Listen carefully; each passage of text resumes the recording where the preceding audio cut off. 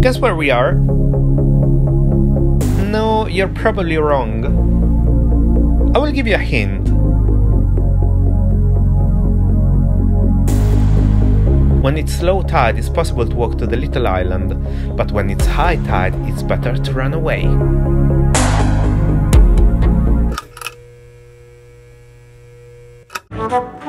So, this is not the first time I drive left, it's the second. And everything is the other way around. The gear stick is here, and I keep trying to find it around here. And everything is, is a bit strange, yeah. I, I'm not used to, to use this hand. okay. no. Anyway, still something I have to do.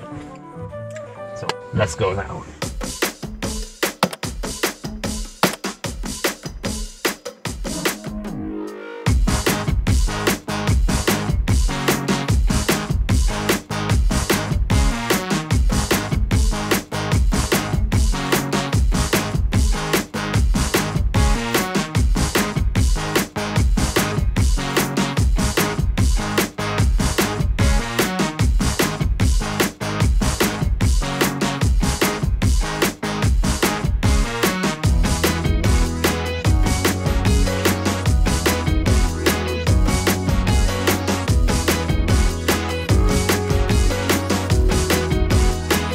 There is plenty to see on the island.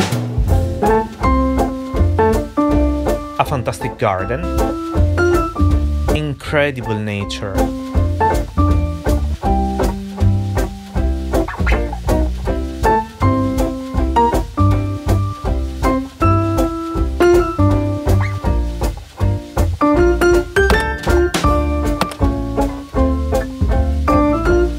a private cemetery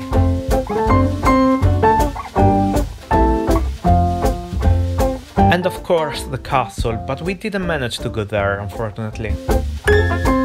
It's also possible to see Queen Victoria's first step on this island.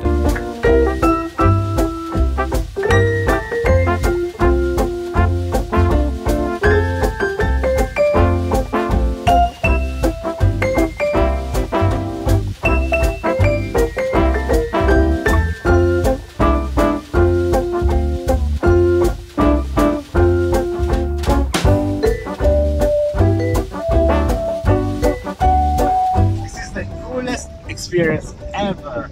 Now there is the high tide that is coming, and as you can see, the park we were doing before Yeah, is half covered. yeah. Uh, it's really windy right now, and the feeling is incredible. Like it's like the sea that is coming through, and it's so powerful, so like dark.